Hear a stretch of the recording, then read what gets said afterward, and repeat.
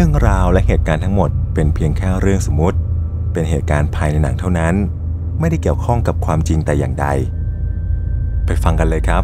กับบอดิการ์ดพิทักษ์หัก โหด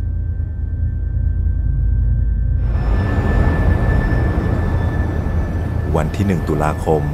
ท่ามกลางคืนดึกสงัด หน้ารถไฟฟ้าสายที่กำลังมุ่งหน้าไปอย่างลอนดอน บนขบวนนั้น ตำรวจหนุ่มเดวิดบัต พร้อมกับลูกๆทั้งสองคนกำลังเดินทางกลับจากการเยี่ยมคุณปู่พวกเด็กน้อยนั้นกำลังนอนหลับหลังจากการเดินทางอันยาวนาน ทุกอย่างดำเนินไปอย่างเป็นปกติ ระหว่างนั้นเองที่ชายหน้าเครียดได้มองสำรวจบริเวณรอบข้างด้วยความเคยชิน เขาสังเกตเห็นอะไรบางอย่างที่ผิดปกติ ชายชาวตะวันออกกลางที่อยู่บนโบกี้ถัดไป มีท่าทีลับๆล่อๆชวนน่าสงสัย พนักงานหญิงของรถไฟก็กำลังอยู่ในท่าทีที่ร้อนรน สัญชาตญาณในตัวของเดวิดได้บอกชัดว่ากำลังมีเรื่องไม่ดีเกิดขึ้น เขาตัดสินใจแสดงตัวต่อหน้าเจ้าหน้าที่หญิง เธอกำลังติดต่อหาพวกตำรวจอยู่พอดี ข่าวกรองจากหน่วยตำรวจกลางได้แจ้งเรื่องของผู้ก่อการร้ายบนรถไฟ ข้อสันนิษฐานก็คือ มีชายชาวตะวันออกกลาง แฝงตัวขึ้นมาบนขบวนรถ และกำลังจะระเบิดที่นี่ให้เป็นจุน แผนของฝ่ายหน่วยเก็บกู้ก็คือ ให้ขบวนรถจอดที่สถานีที่ใกล้ที่สุด ทีมปฏิบัติการเตมัตตานั้นรออยู่แล้ว แต่เดวิดบัตคิดว่านั่นไม่ใช่วิธีที่ดี ทันทีที่รถไฟหยุดลง พวกผู้ก่อการร้ายก็จะรู้ตัวและกดระเบิดทันทีอย่างแน่นอน ผู้โดยสารทั้งหมดและลูกของเขาก็จะกลายเป็นเหยื่อเคราะห์ร้าย ตำรวจหนุ่มจะไม่ยอมให้เป็นแบบนั้น เขาจะลองพยายามรับมือกับสถานการณ์นี้ด้วยตัวเอง จากการคาดเดา มือระเบิดน่าจะซ่อนตัวอยู่ในห้องน้ำของโบกี้ เดวิดนั้นตัดสินใจบุกเข้าไป แต่ว่าคนที่เขาเจอไม่ใช่ชายหนุ่มแต่เป็นหญิงสาวชาวเอเชียต่างหาก เธอมีท่าทีหวาดกลัวสุดขีด ในมือนั้นเตรียมกดปุ่มควบคุมที่ต่อไว้กับระเบิดพีชีพที่อยู่ติดตัว เดวิดนั้นตัวแข็งทื่อทันที สถานการณ์นั้นถือว่าอยู่ในขั้นวิกฤต ทักษะการเจรจาที่เคยฝึกมาจำเป็นต้องถูกนำมาใช้ ผมก็แค่อยากคุยด้วย เดวิดบัตสังกัดตำรวจคุ้มกันลับ คุณไม่ได้อยากจะทำแบบนี้ใช่ไหม คนบริสุทธิ์พวกนี้ไม่ได้เกี่ยวข้องอะไรด้วยเลย ผมมีลูกชายนะ เขาชื่อชาลี อยู่ตู้ข้างๆนี่เอง แล้วคุณละ่ะ ชื่ออะไร ตำรวจหนุ่มนั้นแนะนำตัวเอง พร้อมทั้งโชว์รูปของครอบครัว แผนของเขาก็คือ การพยายามชวนคุยเพื่อถ่วงเวลาและผ่อนคลายสถานการณ์ นาเดีย นาเดียอาลี หญิงสาวนั้นตอบกลับมาด้วยน้ำเสียงที่สั่นเครือ ชายหนุ่มนั้นมองบุคคลตรงหน้าอย่างครุ่นคิด จากประสบการณ์ที่ผ่านมา ในสมัยก่อนเขาเคยเป็นทหารออกรบแถบตะวันออกกลาง ผู้หญิงเคราะห์ร้ายมากมายต้องตกอยู่ในสถานการณ์เดียวกันกับนาเดีย ถูกสามีบังคับให้พีชีพเพื่ออุดมการบ้าๆโดยไม่เต็มใจ คนร้ายที่แท้จริงนั้นย่อมเป็นชายผู้ต้องสงสัยคนนั้นไม่ผิดแน่ เดวิดค่อยๆ หยิบโทรศัพท์ขึ้นมาอย่างช้าๆ เพื่อไม่ให้หญิงสาวนั้นกลัวไปมากกว่านี้ ก่อนจะรีบติดต่อไปอย่างกรมตำรวจเพื่อรายงานสถานการณ์ที่เกิดขึ้น ในตอนนี้ ขบวนรถไฟได้หยุดลง และมีการอพยพผู้โดยสารทั้งหมดออกไปแล้ว และกรมตำรวจก็ได้ส่งคนเข้ามา แต่ว่าพวกเขาไม่ใช่ทีมเก็บกู้ แต่เป็นหน่วยต่อต้านการก่อการร้ายต่างหาก ผู้มาเยือนได้สั่งให้ตำรวจหนุ่มนั้นถอยไป แต่เดวิดนั้นปฏิเสธ ในตอนนี้เขารู้แผนการทุกอย่างทันที ด้านนอกนั้นจะต้องมีหน่วยซุ่มยิงรออยู่แล้วอย่างแน่นอน พวกเขาจะสังหารหญิงสาวเคราะห์ร้ายทันทีที่อยู่ตามลำพัง แต่ว่านั่นไม่ใช่สิ่งที่เขาต้องการ นาเดียเป็นแค่เหยื่อเช่นกัน เธอไม่สมควรจะต้องมีจุดจบแบบนี้ เดวิดตัดสินใจโผล่เข้ากอดหญิงมุสลิมเอาไว้แน่น ก็จะเริ่มพาเธอหมุนตัวเป็นวงกลมอยู่กับที่ ไม่มีใครคาดคิดว่าเดวิดจะทำแบบนี้หน่วยส้มยิงไม่สามารถลั่นไกได้อย่างแน่นอน นี่เป็นการบีบบังคับให้กรมตำรวจต้องส่งหน่วยกู้ระเบิดเข้ามาแม้จะไม่เต็มใจนัก ไม่มีใครอยากจะเสี่ยงตัวเองโดยไม่จำเป็นเพื่อผู้ก่อการร้าย แต่ทว่านาเดียก็ให้ความร่วมมือโดยไม่ขัดขืน ระเบิดพีชีพถูกถอดออกได้สำเร็จ มันราวกับปาฏิหาริย์ที่ทุกอย่างจบลงโดยไม่มีการสูญเสีย และแน่นอนว่านี่เป็นฝีมือของเขาเดวิดบัตสื่อต่างๆ นั้นพากันประโคมข่าวเรื่องความพยายามในการก่อการร้ายครั้งนี้อย่างใหญ่โต แม้จะไม่สำเร็จแต่ความหวาดกลัวของประชาชนก็เพิ่มสูงขึ้น ไม่บ่อยครั้งนักที่ประเทศอย่างอังกฤษจะตกเป็นเป้าก่อการร้าย ส่วนฝั่งเดวิดบัตถูกเรียกตัวกลับไปยังต้นสังกัด น้อยคนนักจะรู้จักพวกเขา หน่วยตำรวจคุ้มกันพิเศษ หน้าที่หลักคือคุ้มกันเหล่าบุคคลสำคัญของรัฐบาล บุคลากรในหน่วยล้วนแล้วจะถูกเลือกสรรมาเป็นพิเศษ ทักษะดี จมูกไวเป็นเลิศ สามารถรับรู้และคาดเดาอันตรายล่วงหน้าได้อย่างทันท่วงที ในหน่วยนี้ไม่มีที่ว่างสำหรับความผิดพลาด เพราะการทำพลาดเพียงครั้งเดียว ย่อมหมายถึงชีวิตของบุคคลใต้อารักขา แต่ทว่าท่ามกลางเหล่าคนมีความสามารถมากมาย คุณสมบัติของตำรวจยศจ่านามเดวิดวัตก็ยังถือว่าโดดเด่น ก่อนจะมาเข้าหน่วยนี้เขาเป็นอดีตทหารแนวหน้า มีประสบการณ์ลบที่อัฟกานิสถานมาแล้ว ก่อนจะกลับมารับใช้ชาติแทนในฐานะตำรวจคุ้มกันพิเศษ หลังจากเหตุการณ์บนรถไฟ เรื่องการหยุดยั้งการก่อการร้ายของเขาจะถูกปิดไว้เป็นความลับ แต่ความดีความชอบที่เขาทำส่งผลให้เขาได้รับการเลื่อนขั้นลอเรน หัวหน้าตำรวจได้มอบหมายภารกิจใหม่ให้กับชายหนุ่ม จูเลียมอนตากิลตำแหน่งรัฐมนตรีกระทรวงมหาดไทย นอกจากนี้แล้วยังเป็นนักการเมืองหญิงที่กำลังร้อนแรงมากที่สุดในขณะนี้ด้วย หลังจากความพยายามที่จะก่อการร้ายที่เกิดขึ้น ในตอนนี้เธอพยายามจะผลักดันกฎหมายที่ชื่อว่าลิป้า 18 เนื้อหากล่าวโดยง่ายเลยก็คือ การทำให้รัฐบาลนั้นสามารถเข้าถึงข้อมูลทุกอย่างของคนภายในประเทศได้ ทั้งการดักฟังโทรศัพท์ หรือว่าข้อความออนไลน์ จุดประสงค์ก็คือการเฝ้าระวังและยับยั้งผู้ไม่หวังดี ก่อนที่เหตุการณ์ร้ายๆมันจะเกิดขึ้น เราจะไม่คาดหวังให้พวกอิรัก เลิกก่อสงครามและทำตัวเงียบสงบอยู่เฉยๆหรอก นี่คือคำกล่าวจากปากรัฐมนตรีหญิง แม้จะมีผู้ไม่เห็นด้วยจำนวนไม่น้อย สิ่งที่เธอจะทำมันเป็นการละเมิดสิทธิส่วนตัวชัดๆ แต่คนส่วนใหญ่ของประเทศนั้นกราบชื่นชอบนโยบายนี้ ความปลอดภัยนั้นสำคัญยิ่งกว่า กฎหมายลิป้า18 ทำให้ชื่อเสียงของเธอนั้นดังขึ้นในทุกๆวัน บรรดาสื่อต่างๆ พากันลงความเห็นว่า ในการเลือกตั้งครั้งหน้าที่กำลังจะมาถึง จูเลียจะได้ขึ้นเป็นนายกรัฐมนตรีหญิงของอังกฤษอย่างแน่นอน ทั้งหมดนี้คือข้อมูลของเป้าหมายอารักขาลายใหม่ของเดวิดบัตจ่าหนุ่มได้เริ่มต้นทำงานใหม่ทันที โดยที่ไม่เสียเวลาเฉลิมฉลอง ทีมของเขานั้นประกอบไปด้วยเพื่อนร่วมทีมอีกสองคนอย่างคิมและทอม และเมื่อได้พบกับรัฐมนตรีหญิง เธอนั้นค่อนข้างจะดูเป็นคนที่ถือตัวแล้วก็เย็นชา ในวันแรกที่ทำงาน จูเลียกำลังไล่เลขาส่วนตัวที่ชื่อว่าชาแนลออกอยู่พอดี เธอกำลังโวยวายเสียงดังเพราะรู้ว่าการไล่ออกครั้งนี้ไม่มีเหตุผล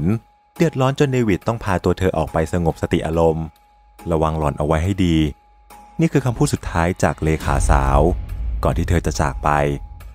หลังจากเสร็จเรื่องวุ่นๆเดวิดก็กลับมาประจำตำแหน่งอีกครั้ง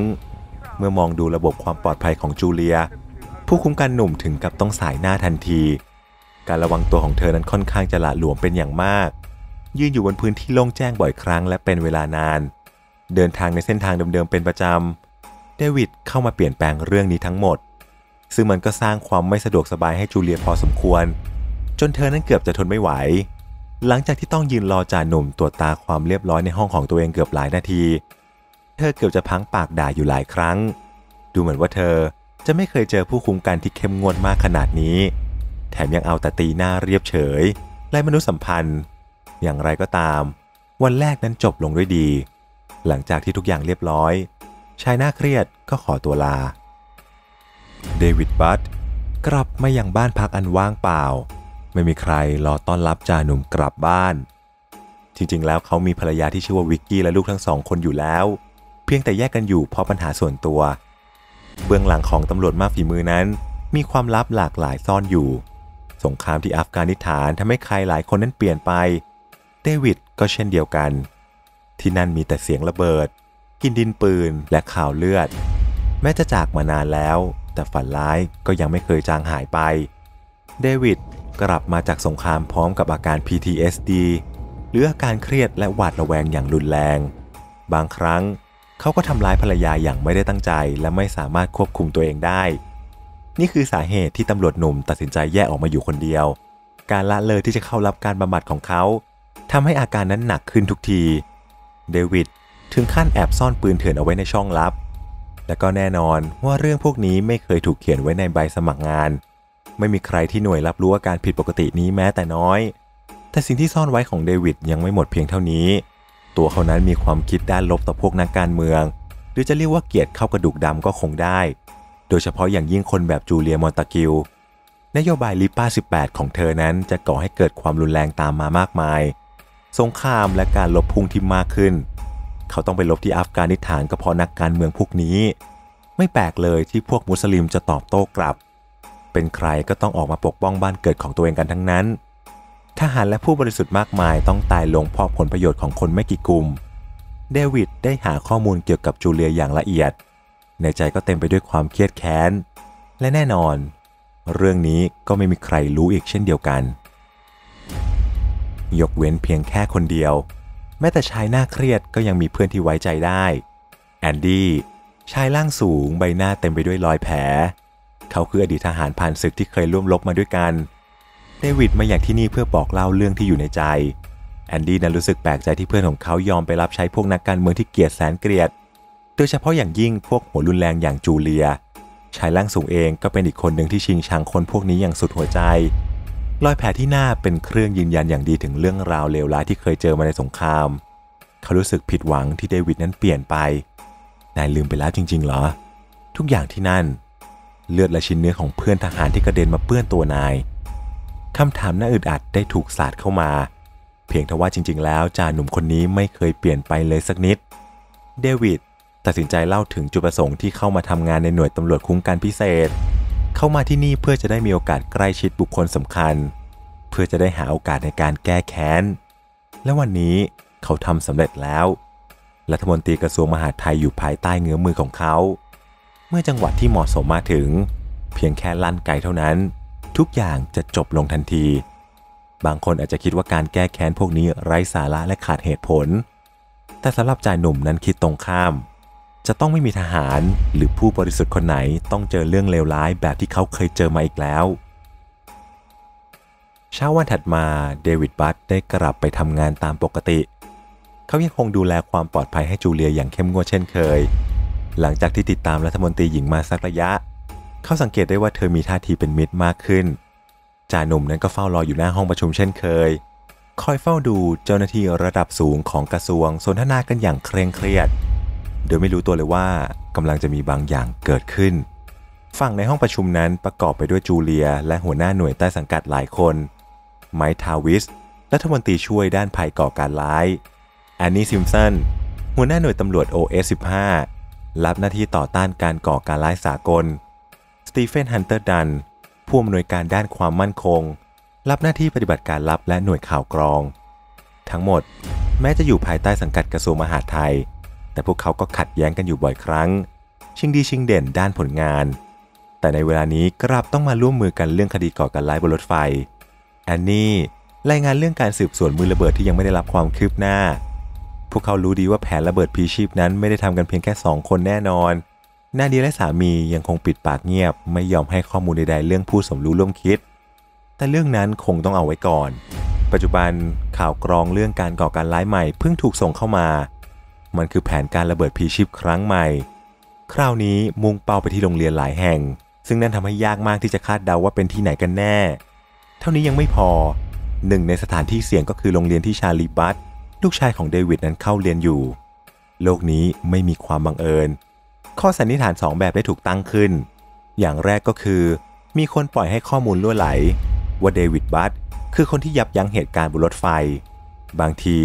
นี่อาจจะเป็นความพยายามในการแก้แค้นของพวกมุสลิมก็เป็นได้ อย่างที่สองก็คือกฎหมายลิป้า 18 นั้นทำให้เกิดความพยายามในการลอบสังหารจูเลีย ก่อนที่กฎหมายน่าจะเสร็จสมบูรณ์ และเมื่อรัฐมนตรีหญิงได้รับทราบข้อมูลแล้ว เธอกลับปิดปากเงียบ ไม่ยอมเตือนให้ผู้คุ้มกันส่วนตัวนั้นทราบ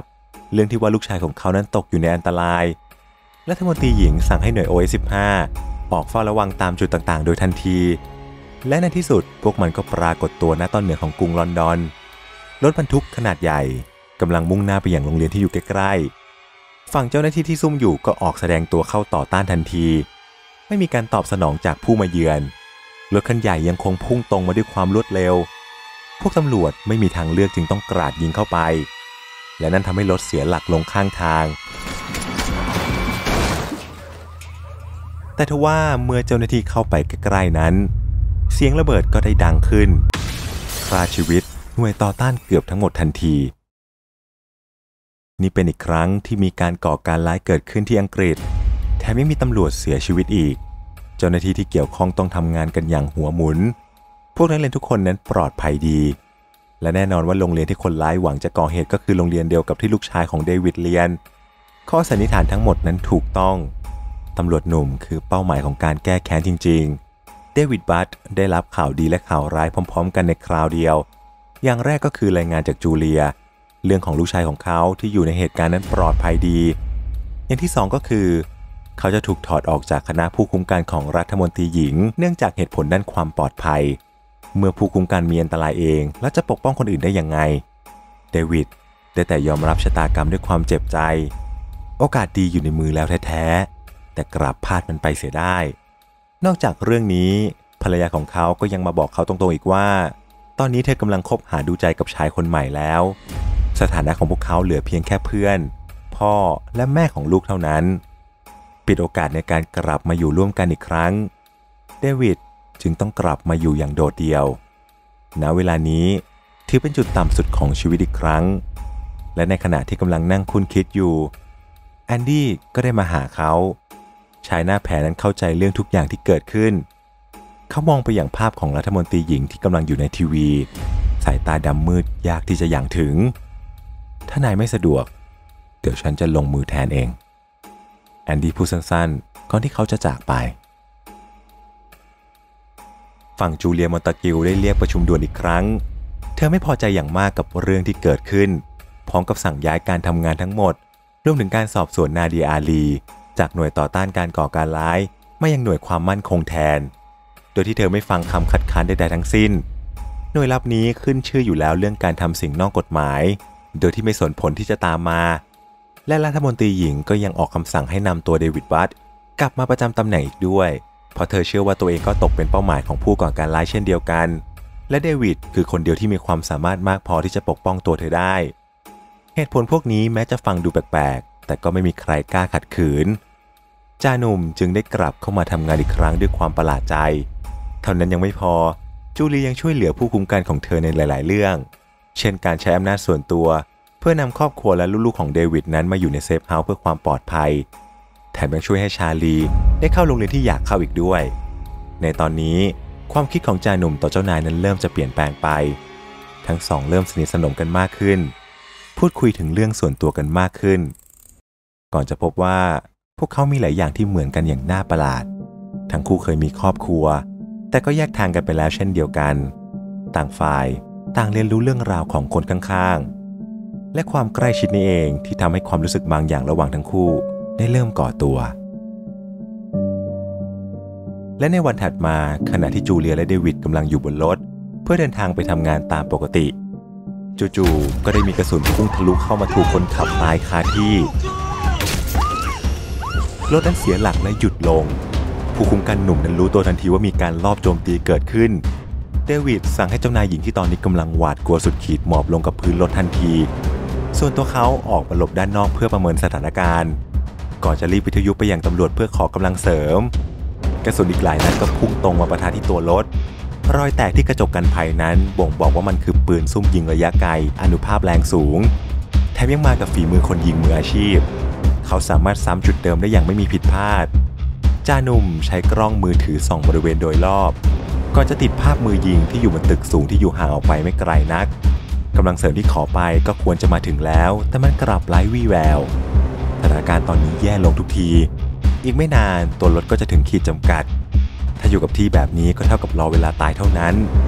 เดวิดตัดสินใจลากศพของคนขับรถออกมา ก่อนจะกระโดดกลับขึ้นไปบนรถและขับออกไปทันทีชายหนุ่มนั้นขับซิกแซกเพื่อจะหลบกระสุน ก่อนจะถอยเข้าไปประชิดกับตัวตึกที่มีมือปืนอยู่ และในนั้นก็เป็นมุมอับที่ทำให้คนร้ายไม่สามารถใช้อาวุธโจมตีได้ พวกเขานั้นปลอดภัยแล้ว แต่เรื่องนั้นยังไม่จบเท่านี้ เดวิดนั้นเตรียมพร้อมจะโต้กลับ ในมือนั้นถือปืนกลสั้นพร้อม ผู้คุมกันหนุ่มตรงขึ้นไปอย่างชั้นดาดฟ้าอย่างเงียบเชียบและรวดเร็วก่อนจะได้พบกับเป้าหมายที่อยู่เบื้องหน้า แอนดี้เพื่อนของเขานั่นเอง ชายหน้าแผลพยายามจะทำสิ่งที่เคยลั่นวาจาเอาไว้ มันจบแล้ว เดวิดนั้นพูดเบาๆ ปืนจ่อไปที่คนตรงหน้า ใช่ มันจบสำหรับฉัน แต่นายไม่ ปิดงานนี้ซะ เพื่อนของเขานั้นตอบกลับมา แต่ทว่าคราวนี้ตำรวจหนุ่มนั้นนิ่งเงียบ ในตอนนี้ความเชื่อของเขาเริ่มจะสั่นคลอนแล้ว หลังจากที่ได้รู้จักกับจูเลียมากขึ้น แต่ในวินาทีนั้นเองที่แอนดี้ฉวยโอกาสคว้าปืนออกมา และลั่นไกปิดชีวิตตัวเองลง ไม่มีใคร ห้ามเขาได้ทัน เหตุการณ์รอบสังหารครั้งนี้จบลงโดยที่มีการสูญเสียเพียงเล็กน้อยเท่านั้น ความดีความชอบนั้นก็ตกไปเป็นของเดวิดบัตอย่างไม่ต้องสงสัย เขาช่วยชีวิตเจ้านายได้อย่างยอดเยี่ยม จูเลียในตอนนี้ยังไม่หายเสียขวัญจากเรื่องที่เกิดขึ้น เธอต้องย้ายมาอยู่ในโรงแรมใจกลางเมืองชั่วคราว ล้อมรอบไปด้วยบรรดาตำรวจ 24 ชั่วโมง เธออยู่ที่นี่พร้อมกับเดวิดบัตที่อยู่ห้องข้างๆ และในนั้นก็มีประตูเชื่อมต่อถึงกันได้ เพื่อจะสามารถปฏิบัติหน้าที่ได้ทันทีถ้าเกิดมีเหตุร้ายเกิดขึ้น และในที่สุดสองคนที่กำลังเปล่าเปลี่ยวก็ได้ใกล้ชิดกันมากขึ้น ต่างฝ่ายต่างอยู่ในอารมณ์อ่อนไหว จนกระทั่งพวกเขาได้มีความสัมพันธ์ลึกซึ้งกันในที่สุด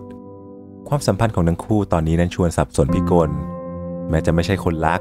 แต่ก็มากกว่าคนร่วมงานกัน หลังจากเรื่องทุกอย่างที่เกิดขึ้นตำรวจหนุ่มหน้าเครียดได้กลายเป็นคนที่จูเลียไว้ใจมากที่สุด แต่ว่ามันจะเป็นแบบนั้นจริง ๆ หรือ เดวิดบัตถูกเรียกตัวด่วนไปอย่างหน่วยคุ้มกันพิเศษ ที่นั่น หัวหน้าของเขาและแอนจากหน่วยต่อต้านการก่อการร้ายได้รออยู่แล้ว ทั้งคู่นั้มีคำสั่งให้ชายหนุ่มแอบดักฟังจูเลีย เนื่องจากสงสัยว่าเธอกำลังมีแผนการบางอย่าง ที่วางร่วมกับสตีเฟนจากหน่วยงานความมั่นคง มีการนัดพบกันอย่างลับๆเกิดขึ้นบ่อยครั้ง เดวิดนั้นจำต้องทำตามคำสั่งอย่างไม่มีทางเลี่ยง อุปกรณ์ดักฟังนั้นเตรียมพร้อมแล้ว และเมื่ออยู่ที่โรงแรม คนจากหน่วยความมั่นคงก็ได้มาถึง ส่งมอบแท็บเล็ตที่มีข้อมูลลับบางอย่างให้กับจูเลีย พร้อมกับย้ำหนักแน่นว่าสิ่งนี้คือความลับขั้นสุดยอด หลังจากเสร็จธุระแล้ว คนจากหน่วยงานความมั่นคงก็ขอตัวกลับ แต่ก่อนที่ชายปริศนาจะจากไป เดวิดได้เข้าไปขวางไว้ พร้อมกับขอตรวจสอบ แต่ชายล่างส่งลึกลับนั้นปฏิเสธ และเมื่อถูกคาดคันมากๆ เขาก็เลยยอมบอกชื่อของเขามาริชาร์ดริชาร์ดลองครอสก่อนที่เขาจะเดินหายไป ในคืนเดียวกันนั่นเอง หลังจากที่รัฐมนตรีหญิงนั้นเข้านอน เดวิดก็ได้แอบย่องไปช่วยแท็บเล็ตออกมา ดูข้อมูลลับที่อยู่ในนั้น ซึ่งสิ่งที่เขาเห็นก็คือ เรื่องราวอื้อฉาวที่ถูกซ่อนไว้ของนายกรัฐมนตรี ความโสมมที่ไม่มีใครรู้ ถ้าเกิดว่าถูกเปิดเผยออกไปจะต้องเป็นข่าวใหญ่อย่างแน่นอน นี่คือจุดประสงค์ที่จูเลียและหน่วยข่าวกองตกลงกันไว้ ข้อมูลเหล่านี้จะถูกใช้เพื่อผลประโยชน์ทางการเมืองทำลายชื่อเสียงของคู่แข่ง ปูทางเธอไปสู่ตำแหน่งผู้นำของประเทศ ทว่าสิ่งที่รัฐมนตรีหญิงนั้นไม่รู้ก็คือบัลลังก์อำนาจไม่ใช่สิ่งที่จะหามาได้โดยง่าย มีผู้คนมากมายขวางทางเธออยู่ ในตอนนี้เธอได้สร้างศัตรูทั้งภายในและภายนอกเอาไว้นับไม่ถ้วน พวกมันต่างล้อมรอบตัวเธอนี่เอง เดวิดนั้นครุ่นคิดเรื่องนี้จนพลอยหลับไป และในกลางดึกนั้นจูเลียก็ได้ตื่นขึ้น เธอเดินไปสะกิดผู้คุ้มกันหนุ่มที่กำลังนอนหลับอยู่ด้วยความเอ็นดู แต่สิ่งที่ได้กลับมาคือมือแข็งแรงที่บีบแน่นอยู่รอบคอ นี่คือสิ่งที่ซ่อนเอาไว้ในตัวของเดวิดผลกระทบทางจิตใจจากสงคราม สาเหตุที่ต้องแยกกันอยู่กับภรรยา โชคยังดีที่ชายหนุ่มนั้นได้สติขึ้นมาก่อนที่รัฐมนตรีหญิงจะสิ้นใจ จูเลียนั้นรีบพระหนีออกมาทันที ประตูกั้นนั้นถูกปิดลง คุณต้องไปบำบัด รัฐมนตรีหญิงพูดอย่างหวาดกลัว ความรู้สึกดีๆ ที่มีต่อการตอนนี้ ดูท่าจะมีปัญหาแล้ว แต่ทว่าจูเลียไม่ได้บอกเรื่องนี้กับใครทั้งนั้น ทุกอย่างยังดำเนินไปเหมือนปกติ ยกเว้นแต่ระยะห่างที่ระหว่างทั้งคู่นั้นมีมากขึ้นราวกับเป็นแค่คนร่วมงานกันเหมือนเดิม เวลาเดียวกันนั่นเองเดวิดก็ได้พบกับผู้มาเยือนที่คาดไม่ถึง ลูอิสและชามา คู่หูนักสืบจากกรมตำรวจต่อต้านการก่อการร้ายได้มาถึง พวกเขารับผิดชอบคดีรอบสังหารที่เกิดขึ้น พร้อมกับเชิญตัวเดวิดบัตไปให้ข้อมูล คนร้ายนั้นไม่มีลายมือและประวัติอยู่ในระบบ สิ่งที่สองนักสืบสงสัยนั้นมีหลายอย่าง ข้อแรกมือปืนรู้ถึงตารางเวลาของรัฐมนตรีหญิงได้ยังไงทำไมถึงสามารถซุ่มรอตรงบริเวณนั้นได้ การลอบสังหารนี้ไม่ได้ลงมือเพียงแค่คนเดียว จะต้องมีคนปล่อยข้อมูลและจัดหาอาวุธซุ่มยิงให้แอนดี้อย่างแน่นอน ข้อ 2. ภาพจากกล้องวงจรปิดชั้นดาดฟ้าในวันที่เกิดเหตุนั้น มีบางอย่างที่น่าสงสัย เดวิดและมือปืนดูเหมือนจะมีการสนทนากันอยู่นาน และทำไมชายหน้าแผลคนนี้ถึงไม่มีท่าทีขัดขืนเลยแม้แต่นิดเดียว ก่อนที่เขาจะยิงตัวตาย คุณมีอะไรที่ยังไม่ได้บอกเราหรือเปล่าเดวิด ชามานั้นตัดสินใจถามตรงๆ ซึ่งเดวิดก็ปฏิเสธหนักแน่นก่อนจะจากมา จริงอยู่ว่าเขาไม่ได้เกี่ยวข้องกับการลอบสังหารครั้งนี้ แต่ใครล่ะจะเชื่อ ผู้คุ้มกันหนุ่มจะต้องถูกไล่ออกจากตำแหน่งอย่างแน่นอน ถ้ามีคนรู้เรื่องความสัมพันธ์ระหว่างเขากับแอนดี้ เดวิดจึงตัดสินใจเก็บเรื่องนี้ไว้เป็นความลับ การเลือกตั้งก็ใกล้เข้ามาทุกที นี่คือช่วงเวลาสำหรับนักการเมืองที่จะหาเสียง จูเลียเองก็เช่นเดียวกัน การปรากฏตัวในที่สาธารณะเพื่อใกล้ชิดประชาชนเป็นสิ่งที่เลี่ยงไม่ได้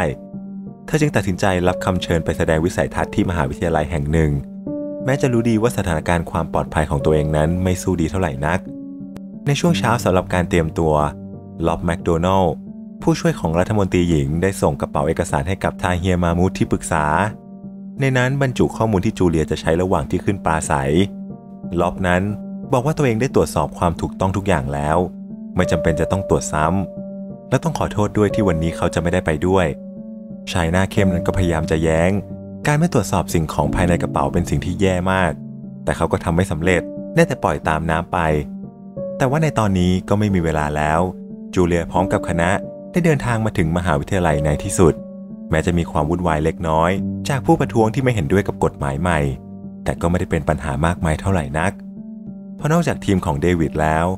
ก็ยังมีหน่วย OS15 มาเสริมอีกด้วย พวกเขาที่ตรวจสอบความปลอดภัยของสถานที่อย่างเรียบร้อยแล้ว พวกเขาไม่พบสิ่งใดที่ผิดปกติ ทุกๆอย่างนั้นพร้อมแล้วสำหรับการปราศัย ก่อนงานจะเริ่มไม่กี่นาที ในห้องรับรองนั่นจูเลีย ได้เปิดใจคุยกับผู้คุ้มกันหนุ่มตรงๆ เป็นครั้งแรกหลังจากเหตุการณ์เมื่อหลายคืนก่อน แม้จะได้พบกับด้านมือที่ซ่อนอยู่ แต่จูเลียก็ยังยอมรับมันได้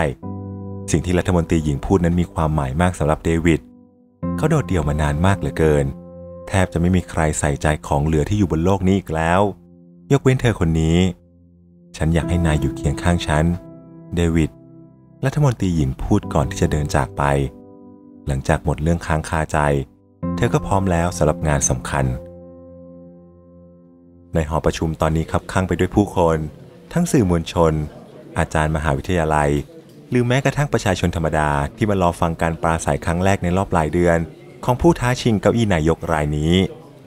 จูเลียมอนตากิลได้อยู่บนเวทีแล้ว พร้อมกับการคุ้มกันอย่างเข้มงวด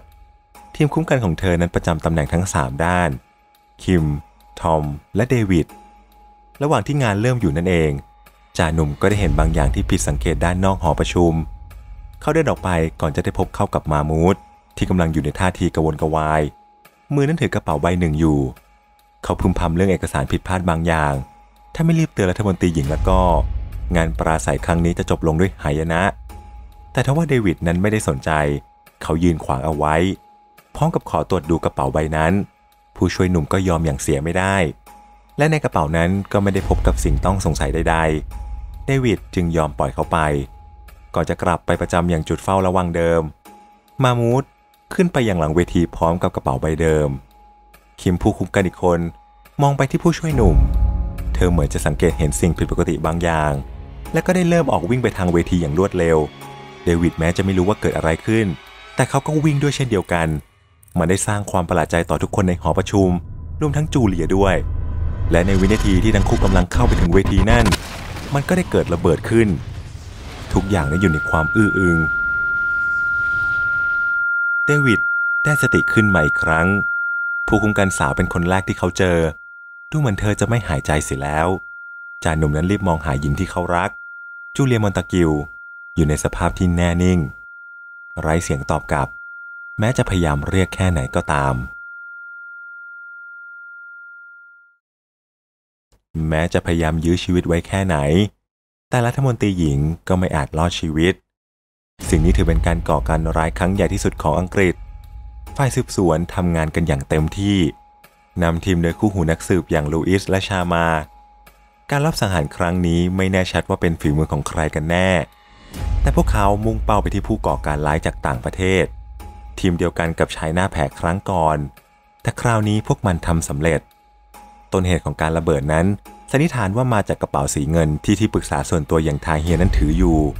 เขาก็เป็นอีกคนหนึ่งที่เสียชีวิต แต่ชายหนุ่มไปอยู่ที่นั่นทำไม และเพราะอะไรกันแน่ และทันทีที่เดวิดฟื้นจากอาการบาดเจ็บ ก็ได้ถูกเชิญมาสอบสวนเป็นคนแรก จากภาพของกล้องวงจรปิด ผู้คุ้มกันหนุ่มเป็นคนตรวจดูกระเป๋าก่อนจะเกิดการระเบิด ซึ่งเดวิดก็ยืนยันเสียงแข็ง ในนั้นไม่มีของที่เป็นอันตรายอย่างแน่นอน สองนักสืบดูจะไม่ปักใจเชื่อมากเท่าไหร่นัก มีบางอย่างเกี่ยวกับชายคนนี้ที่น่าสงสัย ตั้งแต่ที่เขามาเป็นผู้คุ้มกันของรัฐมนตรีหญิง เธอถูกลอบสังหารไปแล้วถึงสองครั้ง การสอบสวนจบลงโดยที่ไม่มีความคืบหน้า ตั้งแต่รัฐมนตรีหญิงนั้นจากไป เดวิดก็ดูราวกับหมดอะไรตายอยาก และเฝ้าโทษตัวเองในเรื่องนี้ที่เกิดขึ้น เธอตายภายใต้การคุ้มครองของเขา ชายหนุ่มจึงตัดสินใจทำอะไรบางอย่าง เขากลับไปเยี่ยมภรรยาและลูกของเขาทั้งๆที่ไม่เคยไปมานานแล้ว วิกกี้เห็นบางอย่างในอดีตของสามีของเธอที่ทำให้เธอนั้นไม่สบายใจ ชายหนุ่มปฏิเสธที่จะอยู่ค้างคืน เขากลับไปยังหอพักอย่างโดดเดี่ยวอีกครั้ง หยิบอาวุธที่ซ่อนอยู่บนช่องลับใต้โคมไฟ สิ่งนี้ไม่ได้มีไว้ใช้ทำร้ายใครอื่นเลย นอกจากตัวเจ้าของเองเท่านั้น เดวิดไม่อาจจะให้อภัยตัวเองได้อีกต่อไป ปืนในมือกำแน่นจ่อไปที่หัว เสียงปืนนั้นดังขึ้นทันทีที่นิ้วลั่นไกล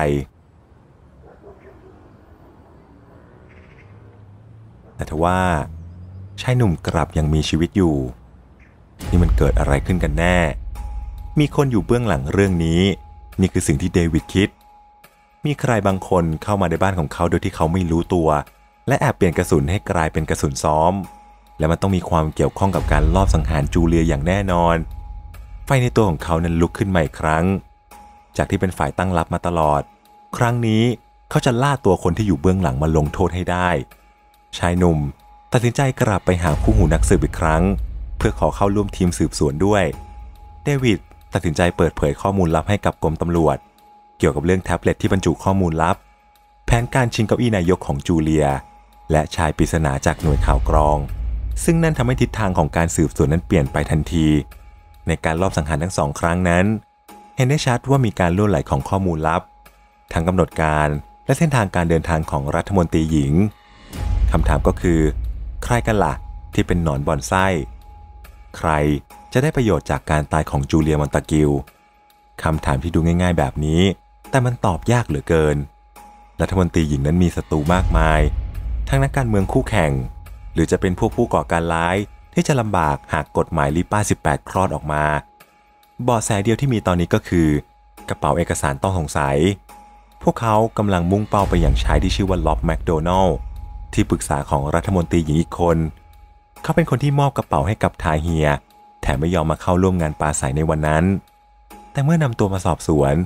เขากลับให้การเพียงแค่ว่า มันเป็นแค่กระเป๋าเอกสารธรรมดาธรรมดาเท่านั้น แต่เดวิดนั้นไม่เชื่อ เขานั้นรู้ดีถึงการเมืองภายในกระทรวง มีคนจำนวนไม่น้อยต้องการให้จูเลียตาย บางคนก็ต้องการได้มาซึ่งอำนาจ จานุ่มสะกดรอยตามเขาไปถึงบ้าน ก่อนที่เขาจะข่มขู่อย่างรุนแรงจนสุดท้ายก็ยอมสารภาพทุกอย่าง ในกระเป๋าใบนั้นมีสิ่งที่ผิดปกติจริง แต่มันไม่ใช่ระเบิด มันเป็นแค่เอกสารที่บรรจุคำปาใสผิดๆเอาไว้ทำเอาไว้เพื่อให้จูเลียนั้นอับอายขายขี้หน้า และเสียคะแนนนิยม ทั้งหมด เป็นแผนการของไมค์ทาวิส เจ้าหน้าที่อาวุโส ตัวเขานั้นกังวลเรื่องความสัมพันธ์ที่มากเกินไประหว่างตัวจูเลียและหน่วยข่าวกรอง แผนการของพวกจูเลียนั้นมุ่งเป้าไปในการโจมตีตัวนายกรัฐมนตรี สิ่งนี้จะยอมให้เกิดขึ้นไม่ได้ เดวิดนั่งมองการสืบสวนเงียบๆด้วยความผิดหวัง เขารู้ดีว่าสิ่งที่เราพูดนั้นเป็นความจริง ซึ่งเขาไม่ได้สนใจเรื่องการเมืองโสมมพวกนี้แม้แต่น้อย ผู้ต้องสงสัยตอนนี้หายไปแล้วหนึ่ง ทุกอย่างนั้นกลับมาที่จุดเริ่มต้นอีกครั้ง รายงานใหม่จากหน่วยเก็บหลักฐานได้เผยความจริงที่ว่าระเบิดที่ใช้ไม่ได้มาจากกระเป๋าเอกสาร แต่เป็นใต้เวทีต่างหาก มันถูกสร้างขึ้นด้วยกลไกที่ซับซ้อน และจะทำงานทันทีที่มีแรงกดทับถึงจุดที่กำหนด ซึ่งนั่นก็คือเหตุผลที่มันทำงานทันทีเมื่อทาเฮียขึ้นไปยืนข้างเวที นอกจากนี้ระบบการทำงานของระเบิดชิ้นนี้ ก็เป็นแบบเดียวกันกับที่ติดอยู่ในตัวนาเดีย หญิงมุสลิมที่โดนบังคับให้ผีชีพบนรถไฟเมื่อหลายเดือนก่อนพระพวกของเธอนั้นจะต้องเกี่ยวข้องกับการลอบสังหารจูเลียอย่างแน่นอน ลูอิสและเดวิดได้เดินทางไปสอบสวนเรื่องนี้ด้วยตัวเอง หญิงชาวเอเชียยังคงดูหวาดกลัวเป็นอย่างมาก แต่เดวิดก็ได้เกลี้ยกล่อมจนเธอนั้นยอมไว้ใจ นาเดียค่อยๆเปิดเผยเรื่องการนัดพบของสามีกับชายปริศนา ทั้งสองนั้นแอบนัดพบกันเพื่อแลกเปลี่ยนวัตถุระเบิดกัน การสืบสวนเริ่มจะมีความคืบหน้ามาบ้างแล้ว ลูอิสรวบรวมภาพชายชาวเอเชียต้องสงสัยมากมายมาให้เธอดู พวกอาชญากรนอกกฎหมาย รวมไปถึงทายเฮียมามูดด้วย แต่นาเดียก็ปฏิเสธว่าไม่เคยเห็นใครทั้งนั้น เมื่อมาถึงจุดนี้เองเดวิดก็เริ่มจะร้อนใจ แรงแค้นที่สุมอยู่ในอกนั้นทำให้เขาล้ำเส้นเกินหน้าที่ ภาพสเก็ตของริชาร์ดลองคอสได้ถูกยื่นให้กับนาเดีย เดวิดนั้นปฏิบัติต่อเรื่องราวทุกอย่างขึ้นปืนที่เขาต้องการจะใช้ฆ่าตัวตายนั้นถูกเปลี่ยนเป็นกระสุนปลอม ไม่ใช่ทุกคนที่จะสามารถค้นเจอช่องลับที่เขาซ่อนเอาไว้ได้ ภาพจากกล้องวงจรปิดจากสถานที่ต่างๆ ที่จูเลียไปนั้น ถูกตัดออกบางช่วงอย่างไร้ร่องรอย สิ่งนี้ทำให้ใบหน้าของชายปริศนาคนนั้นไม่เคยปรากฏที่ไหนเลย ใครกันที่มีความสามารถมากพอที่จะทำเรื่องแบบนี้ได้ ความคิดแรกก็คือเขามุ่งเป้าไปอย่างหน่วยข่าวกรองลับ ชายปริศนาที่เคยเข้าพบกับจูเลียตอนที่อยู่ใน safe house จ่าหนุ่มจึงแอบสเก็ตภาพจำลองของริชาร์ดโดยไม่ได้บอกใคร และนำมาให้กับนาเดียดู คราวนี้หญิงสาวพยักหน้าอย่างเงียบๆ คนคนนี้แหละคือคนที่มอบมันให้กับสามีของฉัน เธอพูดอย่างสั่นเครือ ทุกอย่างนั้นกระจ่างชัดแล้วศัตรูที่แท้จริงนั้นอยู่ใกล้ตัวมากกว่าที่คิด นี่ถือเป็นเรื่องใหญ่อย่างแท้จริง หน่วยข่าวกองลับแห่งนี้คงจะเป็นหน่วยงานสุดท้ายที่ใครจะกล้าคิดลองดีด้วย องค์กรนี้นำโดยสตีเฟนดันผู้โหดเหี้ยม เขามีสายลับใต้ชื่อปลอมมากมายแทรกซึมอยู่ทุกคนแห่งริชาร์ดลองคอสคือหนึ่งในนั้น ไม่มีข่าวใดจะหลุดลอดพ้นสายตาไปได้ ไม่มีคำว่าศีลธรรมใดๆสำหรับทีมนี้ พวกเขาพร้อมจะจัดการใครก็ตามที่ออกนอกลู่นอกทางทั้งหมด ไม่ว่าจะเป็นมิตรหรือว่าศัตรู คนจำนวนไม่น้อยนั้นหายตัวไปอย่างลึกลับ และแน่นอนว่ามันผิดกฎหมาย แต่พวกเขาก็ไม่เคยเหลือหลักฐานเอาไว้ให้สาวไปถึงตัวได้ แม้จะมีศัตรูที่น่าหวาดหวัน่นแต่เดวิดก็หาได้เกรงกลัวไม่ เขาต้องการจะลากไส้องค์กรนี้ออกมาให้หมด จริงอยู่ว่าพวกเขากับจูเลียนั้นร่วมมือกัน วางแผนจะปล่อยข้อมูลเฉาเพื่อโค่นล้มรัฐบาล แต่ว่าใครจะรู้ถึงใจของสตีเฟนชายเฮี้ยมคนนี้อาจจะเกิดเปลี่ยนแผนและต้องการจะกำจัดรัฐมนตรีหญิงคนนี้ก็เป็นได้ แต่การจะสาวตัวไปอย่างหน่วยลับนั้นยากเย็นยิ่ง ทันทีที่เริ่มลงมือสืบสวน เขาก็ถูกสะกดรอยตามโดยเจ้าหน้าที่ปริศนาทันที แต่จ่าหนุ่มก็ยังมีไหวพริบพอที่จะเอาตัวรอดมาได้ ทุกอย่างเริ่มจะชัดเจนขึ้นมาแล้ว มีบางอย่างในตัวของเดวิดที่พวกหน่วยลับเป็นกังวล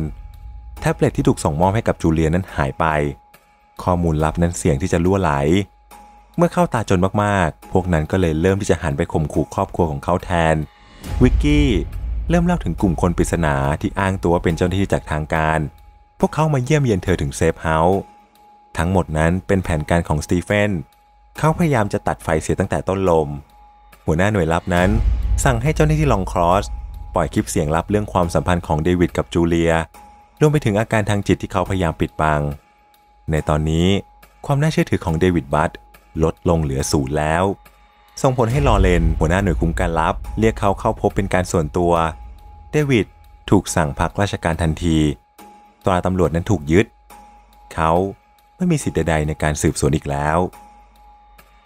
ในตอนนี้เป็นช่วงเวลาที่เดวิดนั้นสิ้นหวังอย่างแท้จริง เขาต้องยอมรับว่าแทบจะไม่มีทางหาคนที่ฆ่าจูเลียเจอด้วยตัวเองอีกแล้ว จะไปฝากความหวังกับพวกหน่วย SO15 ก็ไม่ได้ เขารู้สึกได้ว่าหัวหน้าหน่วยอย่างแอนซิมสันนั้นไม่ได้กระตือรือร้นในการสืบสวนคดีนี้มากมายเท่าไหร่นัก หญิงคนนี้ไม่พอใจจูเลียอยู่แล้ว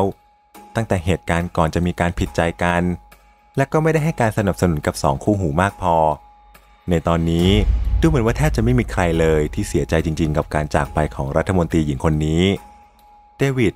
กลับไปอย่างบ้านพักของจูเลีย ที่ในขณะนี้มันถูกปล่อยทิ้งล้างเอาไว้ เขาได้ใช้กุญแจสำรองไขเข้าไปก่อนจะหยิบแท็บเล็ตลับที่ถูกซ่อนเอาไว้ออกมา เขารู้ดี ว่ารัฐมนตรีหญิงจะเก็บของสำคัญไว้ที่ไหน สิ่งนี้จะถูกซ่อนเอาไว้อย่างปลอดภัยในบ้านพักของเขา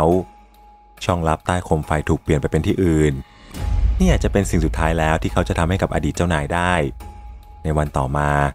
ขณะที่เดวิดกำลังดื่มกาแฟร้านประจำมีใครบางคนที่ไม่คาดคิดได้มาเยือน ชาแนลไดสัน อดีตเลขาของจูเลียที่ถูกไล่ออกไปตั้งแต่วันแรก ๆ ที่เขาเข้ามาทำงานเธอเดินตรงเข้ามาทักทายจ่าหนุ่มอย่างเป็นกันเอง ขอโทษขอโพยเรื่องราวที่เคยโวยวายเมื่อคราวก่อน และก็ได้ขอเบอร์ติดต่อกันไว้เพื่อจะได้มีโอกาสนัดคุยกัน หลังจากนั้นเธอก็จากไป สิ่งที่ชาแนลทำนั้นดูจะไม่ผิดแปลกไปจากชายหญิงปกติ ที่อยากจะสร้างความสัมพันธ์ต่อกัน เพียงแต่เดวิดไม่ได้คิดแบบนั้น เขาแอบสะกดรอยตามหญิงสาวไปก่อนจะได้พบว่าเธอนั้นอยู่กับชายท่าทางประหลาด จ่าหนุ่มนั้นแอบเก็บภาพเอาไว้ทั้งหมด เมื่อสืบหาข้อมูลก็พบว่านั่นคือไอแซคเคน อาชญากรที่มีชื่อเสียงโด่งดัง แก๊งพวกนี้ก็เป็นอีกคนที่จะได้ผลประโยชน์จากการตายของจูเลีย กฎหมาย RIPA 18 ส่งผลโดยตรงต่อธุรกิจสีเทา บางทีพวกเขาอาจจะใช้ข้อมูลที่ได้จากชาแนล ซึ่งรู้กำหนดการต่างๆ ของรัฐมนตรีหญิงเป็นอย่างดี นี่คือหนทางใหม่ที่เขาพอจะทำได้ จ่าหนุ่มรีบติดต่อไปอยังอดีตเลขาสาวทันที เพื่อจะได้ขอนัดพบ สถานที่ก็คือเล้าแห่งหนึ่งย่านกลางเมือง สภาพของเดวิดในตอนนี้เหมือนกับหมาที่กินไม่เลือกเขามุ่งมั่นแต่กับการหาตัวคนที่ฆ่าจูเลียโดยไม่สนใจเลยว่า ต้องแลกด้วยอะไรบ้าง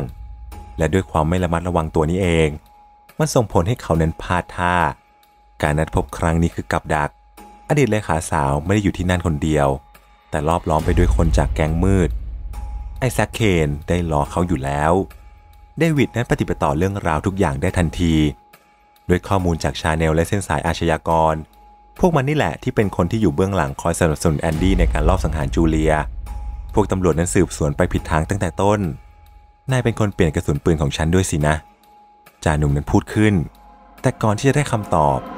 เขาก็ถูกทำร้ายจนหมดสติไป ฝั่งหน่วย SO15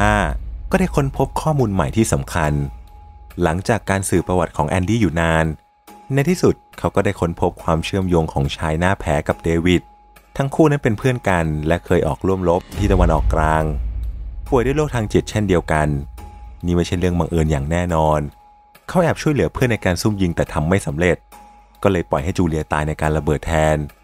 ชามาสรุปทันทีว่าเดวิดบัตคือผู้สมรู้ร่วมคิดในคดีรอบสังหารรัฐมนตรีหญิงอย่างไม่ต้องสงสัย มันหลอกปั่นหัวพวกเรามาตลอด ตั้งแต่ต้นมันแกล้งทำเป็นไม่รู้เรื่อง เราต้องไปลากคอมันมา นักสืบหนุ่มนั้นประกาศลั่น ทุกคนในหน่วยนั้นพร้อมปฏิบัติตามทันที หลังจากโดนทำร้ายจนสลบ เดวิดบัตได้สติขึ้นใหม่ครั้ง เขาอยู่ในโกดังร้างที่ไหนสักแห่งหนึ่ง คราวนี้มีบางอย่างเพิ่มเติมมาด้วย เสื้อกั๊กติดระเบิดถูกสวมไว้กับตัวของเขา นิ้วโป้งนั้นถูกพันด้วยเทปกดติดกับปุ่มควบคุม จ่าหนุ่มนั้นรู้กลไกของมันทันที ถ้านิ้วคลายจากปุ่ม ระเบิดก็จะทำงาน พวกมันนั้นจัดฉากให้เขาเจอกับสถานการณ์แบบนี้ เดวิดนั้นใช้ผ้าคลุมตัวพร้อมกับเดินออกจากที่นั่น ระหว่างทางเขาร้องขอโทรศัพท์จากชาวบ้านบริเวณนั้น เพื่อโทรขอความช่วยเหลือจากตำรวจ โดยที่เขานั้นไม่รู้เรื่องคำสั่งการจับกลุ่มเลยแม้แต่น้อย เจ้าหน้าที่ปลายสาย สั่งให้เดวิดบัตรออยู่กับที่ สิ่งที่มาถึงนั้นไม่ใช่ทีมช่วยเหลือ แต่เป็นหน่วยพิเศษพร้อมกับอาวุธครบมือนำมาโดยลูอิสทุกคนนั้นปฏิบัติกับจ่าหนุ่มราวกับเป็นตัวอันตรายร้ายแรง เธอออกคำสั่งให้ประชาชนโดยรอบนั้นถอยห่าง เดวิดถูกบังคับให้ถอดผ้าคลุมออกโดยไม่มีทางเลือก ระเบิดพีชีพที่พันรอบตัวอยู่ก็ปรากฏขึ้น สร้างความแตกตื่นให้กับทุกคนที่ได้เห็น นักสืบสาวรีบสั่งให้เดวิดเคลื่อนตัวไปยังสนามโล่งกว้างที่อยู่ใกล้ๆ วิทยุสื่อสารถูกวางเอาไว้ให้เพื่อเว้นระยะห่าง ตอนนี้ทุกอย่างอยู่ในสถานการณ์ที่ตึงเครียด เดวิดรู้ดีว่าอะไรกำลังจะเกิดขึ้น ไม่มีใครอยากจะเสี่ยงชีวิตเพื่อคนคนเดียว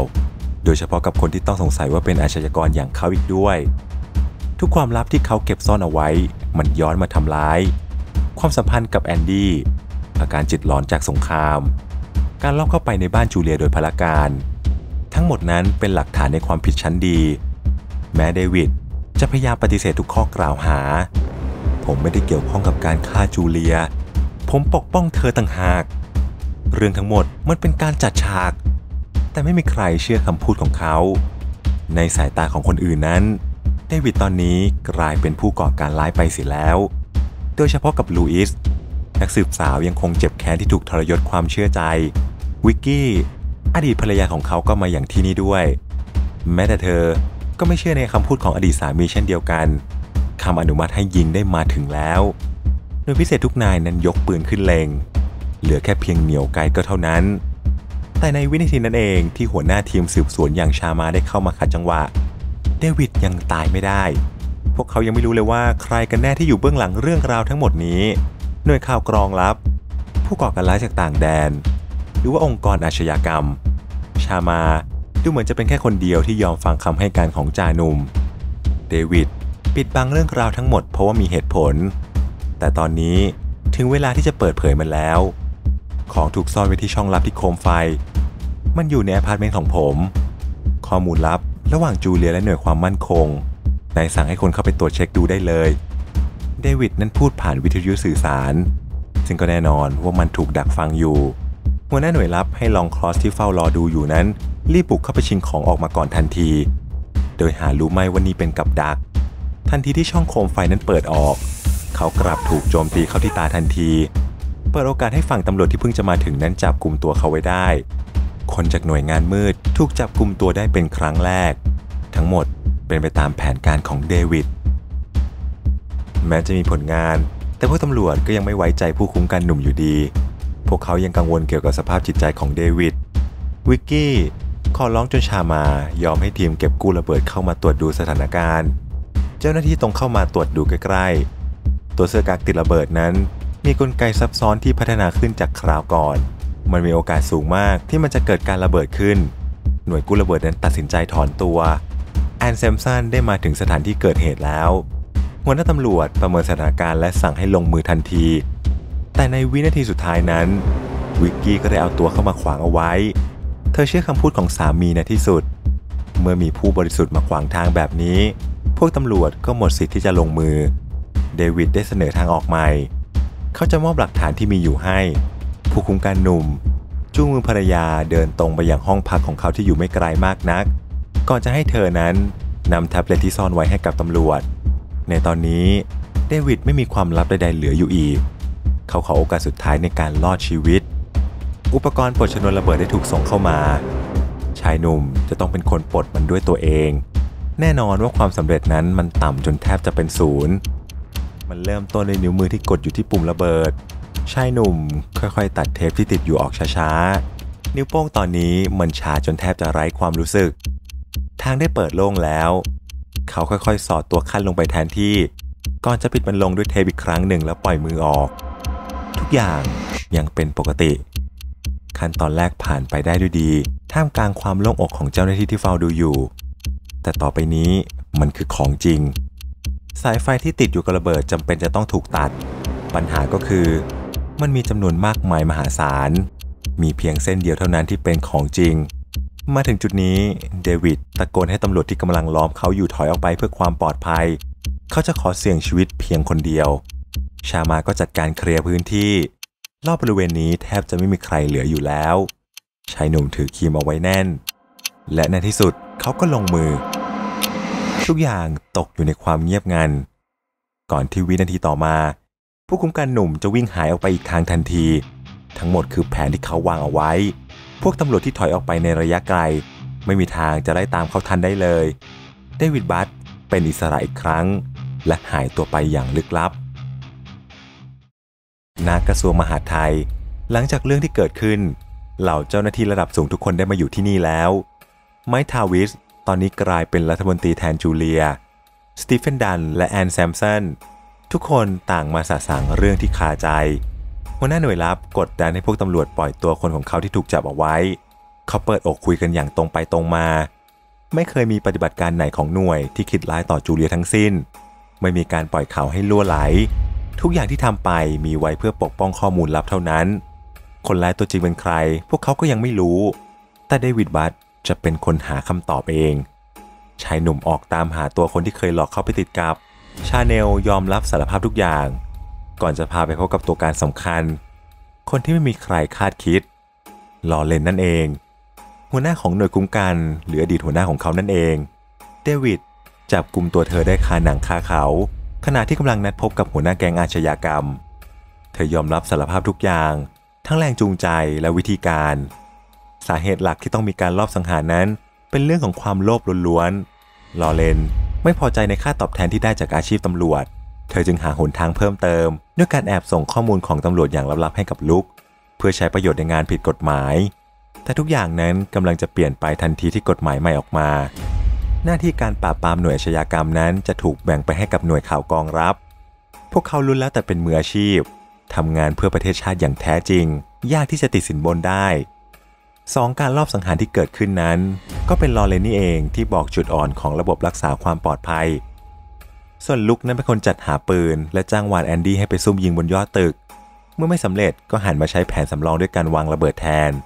จนคราวนี้มันนำไปสู่โศกอนาฏกรรม และขั้นตอนสุดท้ายก็คือ การป้ายความผิดไปให้กับเดวิดบัตถ้าทุกอย่างดำเนินไปตามนี้ มันก็จะเสร็จสมบูรณ์ หลังจากที่ไล่ตามหากันมานาน พวกเขาก็ได้คำตอบในที่สุด แผนที่เกิดขึ้นทั้งหมดนั้น เป็นการส่งคบคิดกันระหว่างตำรวจกังฉิน และแก๊งอาชญากรรม แต่สิ่งที่ตามมายังไม่จบเพียงแค่นี้ นี่คือทั้งหมดจริง ๆ แล้วหรือเปล่า มีบางอย่างที่ยังไม่ได้รับคำตอบลอเลนนั้นปฏิเสธ เธอไม่รู้เห็นเรื่องรถบรรทุกระเบิดพีชีพ ที่พยายามจะโจมตีโรงเรียนของลูกชายเดวิด สิ่งนี้ไม่ได้เป็นฝีมือของเธอ ยังมีคนที่อยู่เบื้องหลังเรื่องนี้อีก ใครสักคนที่ใกล้ชิด และรู้เรื่องราวของเดวิด การสืบสวนนาเดียได้เริ่มต้นขึ้นอีกครั้ง เพื่อไขปริศนาเรื่องเดียวที่เหลืออยู่ จุดประสงค์ของการสืบสวนครั้งนี้มาเพื่อถามข้อมูลของเดวิดบัตโดยตรง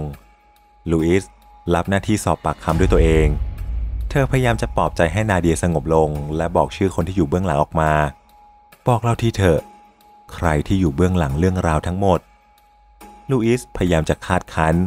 แต่กลับมีสิ่งหนึ่งที่ผิดไปจากที่เธอคาด นาเดียยิ้มย่อที่มุมปาก ในตอนนี้เธอไม่ได้มีท่าทีอ่อนแออีกต่อไปแล้ว เดวิดบัตเองนั่นแหละที่พลาดพลาดตั้งแต่ต้นเลยหญิงสาวอ่อนแอกลับกลายเป็นเจ้าเล่ห์ขึ้นมาทันที นาเดียได้เปิดเผยเรื่องราวทุกอย่าง ย้อนกลับไปในวันที่ 1 ตุลาคม จ่าหนุ่มเป็นคนพบตัวเธอในห้องน้ำด้วยความคิดผิดๆที่ว่าผู้หญิงจะต้องอ่อนแอทำให้เขาขาดการระวังตัวเเขาเองนั่นแหละ ที่เป็นคนที่แสดงรูปครอบครัวให้เธอดู มันส่งผลให้เธอบอกข้อมูลนี้ต่อกับพวกพ้องที่ยังเหลืออยู่ได้ การที่เดวิดมุ่งเป้าไปที่หน่วยข่าวกองลับก็เช่นเดียวกัน เธอจับสังเกตความร้อนรนในใจของผู้คุ้มกันหนุ่มคนนี้ได้ สิ่งที่เธอต้องทำก็แค่กุเรื่องขึ้น เมื่อภาพของลิชาร์ดลองคอสถูกส่งมา ฉันก็แค่ตอบว่าใช่ก็เท่านั้น เธอไม่เคยพบเจอกับเขาด้วยซ้ำไหนจะเรื่องระเบิดรอบสังหารจูเลียนั่นอีก นาเดีย รับรู้เรื่องราวความขัดแย้งของพวกอาชญากรกับจูเลียมาเสมอ เป็นเธอคนนี้นี่แหละที่ประดิษฐ์ระเบิดพวกนั้นเอง พวกแกมันโง่ โดยเฉพาะไอ้ตำรวจนั่น มันแค่เชื่อในสิ่งที่ตัวเองอยากเชื่อ ทุกอย่างมันก็เลยง่าย ติดภาพว่าผู้หญิงจะต้องอ่อนแอ จะบอกอะไรให้ ฉันเน่ยเป็นวิศวกร ระเบิดทุกลูกที่เกิดขึ้น ฉันเป็นคนทำมันเอง และพวกมันก็ทำลายชาติของแกแตกเป็นสิ่งเสี่ยงนาเดีย สารภาพทุกอย่างออกมาด้วยความสะใจ สิ่งที่ตามมานั้นยังมีอีกมาก ข้อมูลลับจากแท็บเล็ตได้ถูกปล่อยต่อสาธารณชน ส่งผลให้ผู้ที่เกี่ยวข้องทุกคนนั้น ถูกกดดันให้ออกจากตำแหน่ง ทั้งนายกรัฐมนตรี ไมค์ทราวิส สตีเฟนดัน เกิดสุญญากาศใหญ่ทางการเมืองขึ้น ความเสียหายที่เกิดขึ้นนั้นประเมินค่าไม่ได้ ทั้งหมดเกิดจากความแก่งแย่ง ขัดแย้ง และมัวเมาในอำนาจ ศัตรูจากภายนอก ใช้จุดนี้นี่เองมาทำลายพวกเขาท่านี้เป็นสงคราม พวกเราแพ้ตั้งแต่ยังไม่ได้เริ่มด้วยซ้ำหลังจากทุกเรื่องราวที่เกิดขึ้น เดวิดบัตก็ได้รับความสงบสุขกลับมาสักที ในตอนนี้เขาจะเริ่มทำเพื่อตัวเองบ้าง อดีตผู้คุมการหนุ่ม เริ่มต้นเข้ารับการบำบัดสภาพจิตใจเป็นครั้งแรก ก็จบไปแล้วครับกับบริการ เรื่องนี้เนี่ยผมอยากให้ทุกคนไปลองดูที่ Netflix มาก ๆ เลยครับ สนุกแล้วก็เครียดแบบสุด ๆ เลยแหละครับ ถ้าเกิดว่าหน้าพระเอกเครียดแล้วเนี่ยเราตอนนั่งดูก็เครียดพอๆกับพระเอกนั่นแหละครับซึ่งสำหรับคนที่ฟังมาถึงตรงนี้ก็ขอขอบคุณทุกคนด้วยนะครับแล้วก็ต้องขออภัยด้วยที่คลิปนี้เนี่ยใช้เวลานานไปสักหน่อยเนื่องจากรายละเอียด เยอะเหมือนกันครับ แล้วก็มีจุดเล็กจุดน้อยที่เราต้องพูดถึงเยอะมากๆเลยครับเพราะว่ามันไม่สามารถละเลยไปได้ เนื่องจากมันมีผลกับเนื้อเรื่องนะครับยังไงก็ต้องขออภัยที่ทำให้ทุกคนรอนานนะครับ สำหรับวันนี้มีมูวี่ขอตัวลาไปก่อนครับ เจอกันคลิปหน้า สวัสดีครับ